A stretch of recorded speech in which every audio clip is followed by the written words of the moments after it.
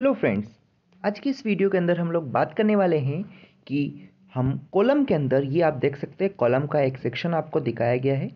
Column के अंदर हम टाइस का क्यों यूज़ करते हैं? बहुत जनरल क्वेश्चन है, अधिकतर इंटरव्यूज़ में ये क्वेश्चन पूछ लिया जाता है। तो इस वीडियो के बाद आपको क्लियर हो जाएगा कि टाइस को हम लोग कॉलम में क्यों यूज़ करते हैं। दोस्तों, काफ़ी स्टूडेंट्स टाइस और स्टीरअप में कन्फ्यूज़ होते हैं।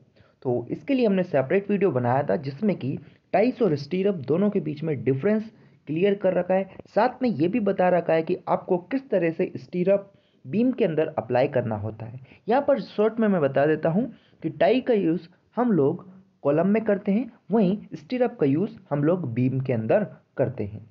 ये बेसिक बात थी जो कि आपको पता होना चाहिए। अब सवाल आता है कि आखिर में क्यों हम लोग टाई का यूज़ कर रहे हैं कॉलम के अंदर? ठीक है? दोस्तों, पहली बात मैं यहाँ पर बताता हूँ, जो मेन रीज़न है टाइस को यूज़ करने का कॉलम के अंदर, वो है क्या? कि जो वर्टिकल रेनफोर्समेंट है, देखिएगा, ये कॉलम है, इसके अंदर ये जो रेनफोर्समेंट आप देख पा रहे हैं, ये जिस पे मेरा कर्जर मूव कर रहा है, ये जो रेनफोर्समेंट है, इनको हम बोलते हैं लॉन्गिट्यूडनल रेनफोर्समेंट या फिर वर्टिकल रेनफोर्समेंट ठीक है?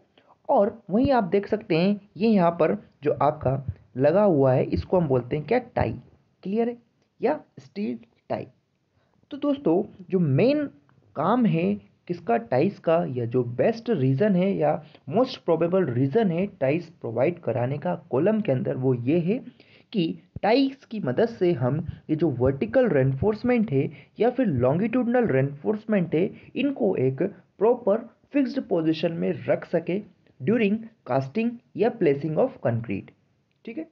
मतलब कि जो हमारे टाइस रहेंगे टाइस का मेजर रोल है कि ये जो वर्टिकल रेनफोर्समेंट है या फिर लॉन्गिट्यूडनल रेनफोर्समेंट है, उनको अपनी प्रॉपर पोजीशन में रखे फिक्स पोजीशन में रखे, वो उनकी जो अलाइनमेंट है चेंज ना हो जाए।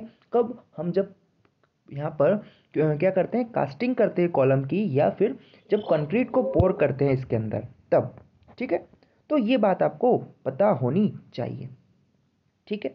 सेकंड जो मेन रीज़न है दोस्तों, वो मैं आपको अगर बताऊँ किसका टाइस का सेकंड रीज़न है, ये ये तो मैं आपको क्लियर कर चुका हूँ कि होल्ड क्या करता है? लॉन्गिटनल बार को प्रॉपर पोजिशन में रखने के लिए हम लोग इसका यूज़ करते हैं।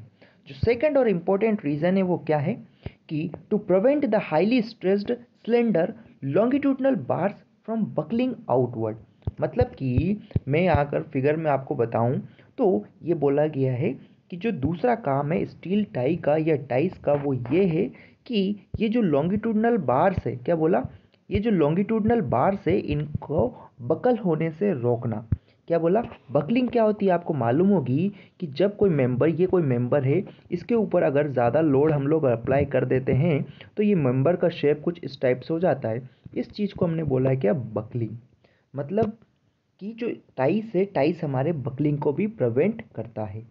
तो दो मेन रीज़न मैंने आपको बताए हैं दोस्तों, और मेरे ख्याल से दोनों मेन रीज़न आपको क्लियर हो गए होंगे। किसको प्रोवाइड कराने के लिए? टाइस को प्रोवाइड कराने के लिए। तो अब अगर इसके अंदर ही हम फिर से बात करें कंक्लूड कर देता हूँ मैं कि मैंने आपको क्या क्या बताया है। मैंने आपको बताया है कि दो रीज़न जो है, वो क्या है? पहला रीज़न है कि जिससे कि हम हमारे लॉन्गिटनल बार्स को प्रॉपर पोजीशन में रख सके। पहला रीज़न है टाइस प्रोवाइड कराने का और दूसरा रीज़न है कि जो हाईली स्ट्रेस्ड लॉन्गिट्यूडनल बार्स है, जो वर्टिकल बार्स है, वो हाईली स्ट्रेस्ड होती है। उसके ऊपर कंप्रेसिव लोड आता है। किसकी वजह से? कंक्रीट के ऊपर जो कॉलम होता है कॉलम के अंदर कंप्रेसिव लोड आता है डेट इज़ कंप्रेशन मेंबर होता है। तो जो हमारी लॉन्गिट्यूडनल बार्स है, ये भी हाईली स्ट्रेस्ड होती है। तो उनको बकल होने से रोकने के लिए हम किसका यूज़ करते हैं दोस्तों? हम टाइस का यूज़ करते हैं। मैं आपको यहाँ पर बता देता हूँ कि आखिर में, क्या? कि आखिर में ये हमारा किस तरह से बकलिंग को रोक सकता है? मान लो ये एक बार थी तो ये इस पर लोड लगाया, हमने कोई पी लोड अगर लगाया तो ये आसानी से बकल हो जाएगी। लेकिन यहाँ पर दो रोड अगर रहेगी और दोनों को मैं एक दूसरे से किसी मदद से इसको टाई कर देता हूँ तो अगर सेम लोड आ रहा है पी लोड तो ये थोड़ी और डिफ़िकल्टी से यहाँ पर क्या होगी? बकल होगी, कम बकल होगी।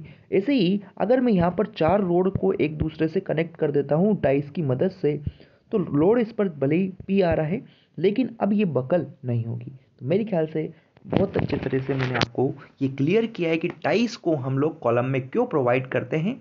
आई होप ये वीडियो आपको अच्छी लगी होगी और अगर अच्छी लगी है तो ऐसे ही कंटेंट के लिए हमारे चैनल को ज़रूर सब्सक्राइब करें और अपने दोस्तों के साथ भी शेयर करें। Thank you